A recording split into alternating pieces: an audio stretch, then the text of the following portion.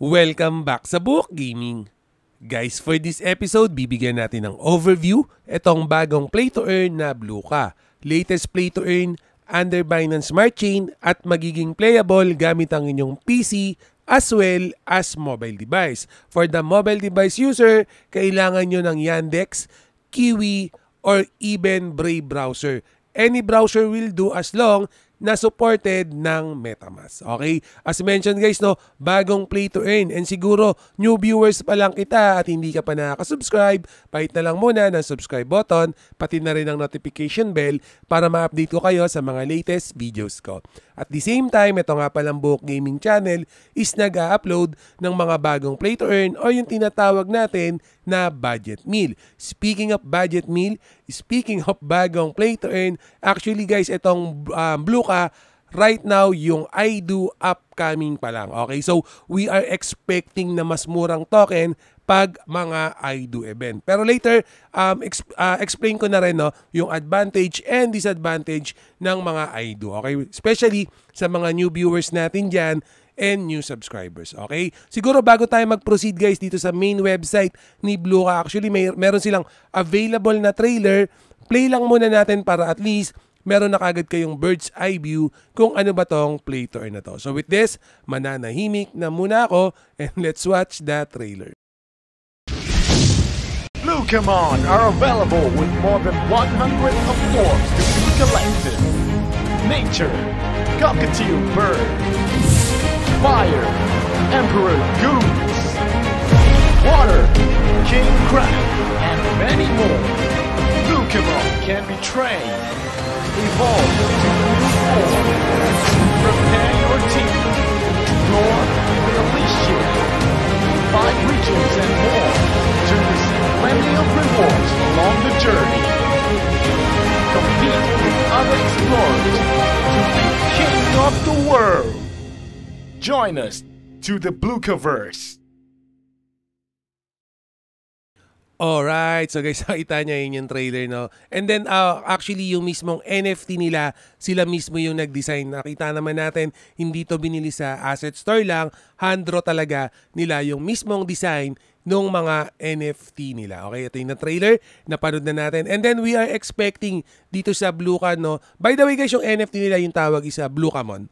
Alright, and then yung features nito guys, magkakaroon to syempre ng summoning, and then breeding, uh, breeding system, and then yung mismong word na uh, paglalaroan natin, Alicia, and then marketplace, magiging available din yan. Blue ka card game, Okay, and then finally, staking. Good thing guys, no, meron tayong staking na rin dito sa Blue ka. Ang kagandahan din guys, halos sa um, all na play to earn na nire-review natin, naging available na yung staking. Kasi before, no, wala tayong um, staking na features, no. So luckily, halos lahat nagkaroon na. Kasi advantage yan, guys, dun sa mga investors, no, na hindi masyadong nakakalaro, no. So kailangan pa nila ng scholar, okay? And then, um, from here on, guys, actually, nung chinecheck ko yung blue ka, binabasa ko yung um, white paper nito na vibes ko na kagad guys no yung bagong Mobox and then at the same time no Pokemon combination na rin. Okay ganun yung nababibes ko. And then syempre play to earn yan. And then 'di ba nagpo-focus mismo yung dev nito guys na magkaroon tayo ng uh, fan game no dito sa ganitong klaseng play to earn. And then syempre using nung ating um, NFT no? So yan yan. Ayun yung mga NFT nila. Nakikita nyo ba guys?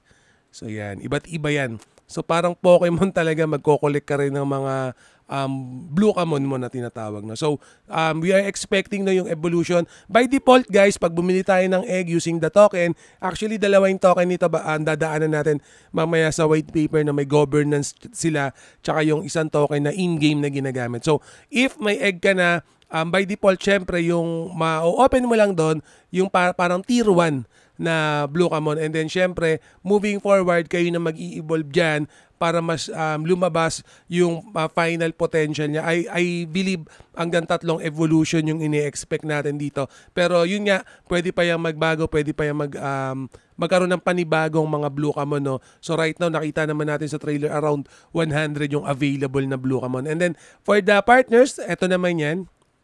And then roadmap, actually guys, yung roadmap nila, Q3, Q4 nag-start na nag-start na sila. okay, on process na sila. Pero more on fixing few things na lang, internal lang naman. And then nagkaroon na rin sila ng successful na token private sale. Pero yun nga, no, huwag kayong mag-alala. This phase 1, Q1, 2022, we are expecting na, actually, yun yung kasunod, no, yung um, public sale or yung I do na tinatawag natin. And if you gonna check no lahat nitong uh, roadmap nila, actually pagdating ng Q2, okay, yung mismong play to earn sa game nila lalabas na. So, hindi na ganun katagal yung hihintayin natin para malaro natin itong bagong play to earn na to. And then yun nga, siguro pag mga new viewers ka pa lang, bagong subscriber pa lang kita dito sa Book Gaming Channel, um, yung pinipictures ko kasi yung mga bagong play to earn, okay? Para at least, no, habang mura pa, nasa ilalim na tayo. Okay, ba't tayo nasa ilalim? Kasi guys, habang tumatagal, mapupunta tayo sa ibabaw habang maraming pumapasok na player. So yung iba talaga, kaya nanonood sa channel natin is para makauna. Okay, iba talaga guys pag nakauna ka pagdating sa mga play turn. Okay guys, double check nitong roadmap. Ang importante kasi sa akin dito, syempre yung I do, murang token, and then yung mismong labas ng um, game or yung gameplay. Gameplay na, alright? So yan yan. Actually guys, yun lang naman yung mismong website nila. And then for the team, nasa na ba yung mga kaibigan natin dyan? Yan, yung team naman nila guys, fully docs, clickable naman yan if you want to double check. Uh, core team to, okay, ito yung pinaka-core team nila, um, hindi lang naman yan yung gumawa. Kumbaga, sila lang yung pwede nating habulin, okay. Pero kidding aside guys, um, pag chinek din naman natin yung Twitter page nila, very active naman yan. Actually, meron silang milestone dito. Yan. 36k na followers pero alam ko 37 na nga yan eh. Wait lang ah. Yan, magta 38 na yan. Okay, we are expecting to hit at least um 50,000 followers no within next week no. So kasi mabilis yung um, pasok ng followers dito kay um, Bluka. By the way no, as mentioned, nag-AMA naman sila. Okay, so if ever na may mga katanungan din kayo in the futures, check nyo lang yung mga AMA schedule nila para, para at least mabato, din, mabato nila kagad sa inyo. And etong Twitter page nila guys, if you want to proceed, gusto nyo mag-play nitong um, Bluka, make sure na i-follow nyo kasi meron din naman silang mga giveaways dito. Okay? At the same time nga pala guys, dito sa Book Gaming, meron kami tinatawag na secret technique which is magsasabi ako ng word And then yung uh, unang dalawa or meron tayong pipiliin na dalawang uh, winner. Okay, within 24 hours yan guys, no? And then yung announcement niyan doon sa Facebook page natin, i-announce. Okay, so for the secret word for today is, syempre, Blue Camon. Okay, comment nyo lang dyan, Blue Camon, and then check nyo na lang sa Facebook after 24 hours. Yung link ng Facebook ko, nadyan na rin sa description. Double check nyo na lang. Okay, lahat ng um, giveaways natin nasa Facebook page na. Yung announcement. Okay? And then going back dito kay Bluka guys, follow nyo to. Hindi lang naman yung um, Twitter, pati na rin yung ibang social media page nila, i-follow nyo na rin. Okay? Para at least makapag-research din kayo. And then dito sa white paper nila guys, if ina-navigate natin, um, don't worry yung white paper, lalagay ko sa uh, description din. Okay? Nakalagay naman dito kung ano yung blue ka. And then as mentioned guys, no, yung Alicia, ito yung pinaka-word ni blue ka. And then guys, sa mission and vision niya, um, pag gusto ko lang i-highlight yung mismong mission kasi maganda yung nakalagay dito sa mission nila. Hopefully, no, magawa nila to. Unang-una guys, making a balance between finance and gaming. Malaking bagay yan. Okay, kumbaga, hindi ka lang basta magpe-play to earn, mai-enjoy mo pa and then syempre yung balance ng gameplay, ayan yung importante kasi ayan din yung magdadala ng sustainability sa mismong play to earn. Okay? And then nakalagay na rito, the gaming is fun to play. Um, actually, kambal na yan. Okay? Once na na-balance mo naman yan, definitely magiging fun to play naman yan. Alright? NFT is worth collecting, not just a piece of graphics. Definitely, hopefully, kasi nga, um, we, ano na to, um, Game 5 version 2 na yung inaasahan natin. So, don't be confused sa version 1 sa version 2. Kadalasan kasi ng Game 5 version 1, mga collectible in NFT lang. And then for the version 2, ayan yung nagagamit na natin pagdating sa mga play to earn. Players can earn and then players can give privilege from the NFT they had. Okay, for the roadmap, natakil naman din natin. Okay, wala naman tayong problema sa roadmap guys, no? And then for the gameplay, meron silang infographics dito. As mentioned guys, no, dalawa yung token na inaasahan natin. Yung isa yung uh, uh, BLUC and then yung isa yung SCR. Governance natin guys, BLUC. Alright, pakita ko muna yung tokenomics nga. Baka mamaya malito tayo. Yan. Since nag-usap na rin naman tayo sa token. Yan. Ito yung supply. 1B to, total supply naman. And kung titingnan natin, no, yung uh, mismong paghahati ng token uh, ecosystem fund naman, 20% yung nakalagay dyan. And then, advisor and team na, 11%. Actually, below minimum pa nga to. No? Pero, yung marketing and partnership naman, nasa 9%. Siguro dito na lang sila bumawi. Pero dito tayo mag-focus guys no, sa 20% na to. Okay?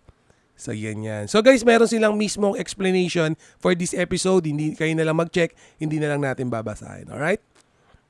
So, nasa na ba yan? Yan. So, again, so paano ba to? Okay, itong infographics nila guys, click ko nga kung makikita nyo. Wait, ha, kita ba? Yan. So, unang-una, syempre, bibili ka ng token. Pag nasa listing na yan, pag nasa TGE na yan, nakabili ka, may tinatawag sila ng farm or yung um, uh, liquidity pool nila, bibili ka naman ng or i-convert mo sa SCR token. Itong SCR token kasi, yan yung ginagamit na natin in-game. Okay? And then from here on, pwede ka nang bumili ng egg na pwede mong pisain sa summoning altar. And then pag na-summon mo na yan, okay, magkakaroon ka na ng Blue Camon. Once na may Blue Camon ka na, pwede ka na mag-breed, mag-play, and then tinatawag nilang Blue Kalan. I don't know baka ranking system to or PvP, no? So I don't really know yet. Wala pa tayong update, kaya siya naka-silhouette question mark pa, okay?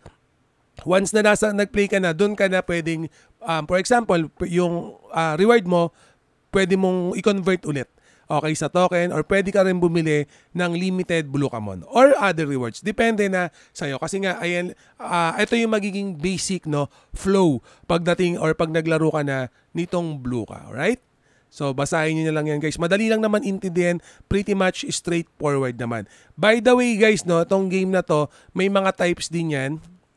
Yan, double check niyo na lang. Pero kung siguro no, kung tatanungin niyo ako ilang bang um, Blue Camon yung kailangan para maglaro na to. Um, basically, isa lang naman is pwede. And then, since RPG based to guys, may mga elements kasi to. May fire, water, wind, metal, and nature. So ako guys, oh, being a big fan din ng mga Pokemon RPG, no, yung mga Sword and Shield na game, um, para sa akin kasi mas maganda is at least may tag-iisa kang element Okay, mahirap kasi kung isang NFT lang yung kukunin mo. For example, fire, and definitely pag water na kalaban mo, GG na. So malilimit ka, eh. malilimit yung ano mo, yung mismong gameplay mo, magiging handicap ka. Mas maganda guys, kompletuhin natin yung element no. If you gonna take my advice, ay yung mas magandang approach sa mga ganitong RPG game. No? At least, tagi-isang element. So ilan lang naman yan? Isa, dalawa, tatlo, apat, lima. So 5 NFT, may recommendation, kompletuhin nyo yung element, wag kayong mag stop hanggang hindi nyo nakokompleto yung mga element. Kasi malaking factors yan guys pagdating sa mga elementing system. Okay? Para at least hindi kayo ma-handicap. And guys, no, be mindful, play to earn kasi to. Mahirap no kung nalilimit yung uh, potential earning in the daily basis. Okay? Para at least mabilis din yung mabalik yung ROI nyo. Okay? So ito guys, may mga attributes din yan Pretty much straightforward naman sa mga RPG game yung attributes niya. And syempre, rarity, yan. Syempre, pag common, mas mababa yung range niyan. Right? So, ganyan lang yan. And then may tinatawag pa tayong purity na hindi na nagbabago. Okay. And pakita ko lang sa inyo muna yung hindi yan. Yan. So, nakikita niyo ba? So, ganito lang yung pagbasa niyan guys no, para hindi kayo malito. So, unang-una, if ever na may NFT na kayo, yung pangalan niya nandito dito. So, pwede mong baguhin to, no? Depende sa'yo. Makiklik mo lang yung pencil button na yan, mababago mo na yan. And then, rank and level, ito yan. Yan. So, for this uh, sample, level 28 na. And then, kung anong element yung character mo, yung sa kanya, uh, two element yan, kasi medyo maganda yung rarity, no? Pero by default, siguro pag common lang, one rarity lang yung mapupunta. And then maximum no or try element yung pwede mong makuha no? Pwedeng tatlong element yung makukuha mong blue common and then yung power mo power rating ito. Yan. Element details nandito naman yan. 5 yung ano niya strength niya 75 purity 99 kasi kasi for this sample um mataas yung um rarity nito. And then uh, main attributes nandito na yung mga luck yung mga accuracy, attack, okay, agility, Nandiyan na lahat yan. And then, nasa na pa yan? Yan, kung saan nakalagay yung rarity mo para malaman mo kung epic, uncommon, rare, di ba? Nandiyan yan. Or epic, yan, nandiyan yan. And then, syempre, kung ano yung ano niya, um, guardian. So, nandito na lahat siya. Alright? So, ganyan yung pagbasa niyan, guys. If meron na kayong uh, blue common, no, na sa inventory nyo. Okay? Summoning altar, basically, dyan lang naman kayo magsusummon. And then, ito yung time niya. Uh, mas maganda kasi guys, may timing siya. If ever na nag-open kayo ng egg, hindi kagad siya mapipisa. Okay, maghihintay muna kayo ng specific time, depende sa rarity na makukuha niyo. Okay? Ay, may exclusive pala. Actually, hindi ko pa to alam tong exclusive na to. Hanggang alam ko, mythical lang. Siguro mga nasa event to or nasa airdrop. Confirm ko rin to kung ano tong exclusive na to. And then for the farm, yan. Yung SCR token nyo kasi dyan, dyan nyo kukunin sa farm, no? Summoning Lab. Guys, double check nyo tong white paper, no? Pinapasadahan lang natin para at least magkaroon kayo ng idea. Kasi pag inisa-isa natin to, bukas pa tayo matatapos. Ito yung word ni Alicia, no? Pinaka-word niya. Okay, so actually ayun lang naman. Pretty much straightforward lang. And then ayun nga guys, no, bagong-bago pa lang itong um, play to na to. Yung community niyan, ilalagay ko lahat ng link sa description. As mentioned, dalawa yung token. Ito yung governance token natin. And then ito naman yung in-game token. Ito yung gagamitin natin pag-upgrade, pambili ng itlog. So basically, from uh, BLUC token, i-convert natin yan sa SCR, sa liquidity pool nila sa game. Okay? So pretty much it, yun lang. And then for the upcoming, upcoming I do, as mentioned na 8 days from now, um, definitely mura nyo palang mabibili yan yung mga token pag nasa I do. At ayun nga ang advantage, a big advantage rather pag bibili ka sa mga ganitong event kasi mababa pa yung presyo. Pero siguro naman sa mga disadvantage din, no, if ever, kasi hindi nyo naman natin alam in the future kung magmamahal ba yung token or bababa. So blind idea, no, blindfold, blindfolded tayo pag bibili tayo sa IDO. Kumbaga, um, nasa sa inyo na, depende sa project, kung na-research nyo na. Kasi ako, basically, bumibili talaga ako sa IDO. Okay, kasi nga, lalo na sa mga play to earn, medyo bago-bago sa atin, madami naglalaro. So, in a time naman, madami ako nakitang IDO na tumataas yung prices. Pero syempre, hindi naman lahat may mga games din or IDO din na break even lang naman. Or worst come to worst, no, hindi na nag-proceed yung game. Pero yun nga, no, pag mga big project naman, um, pretty much confident naman tayo dyan. And kung fully docs naman and naka-KYC na, why not kung meron naman tayong sobra. So, ito yung IDO nila guys, no, double check nyo na lang din sa Twitter, Telegram, and Discord para magawa nyo yung sariling research nyo. Guys, hanggang dito na lang muna and always remember, Book Gaming you all. See you again in my next video. Salamat!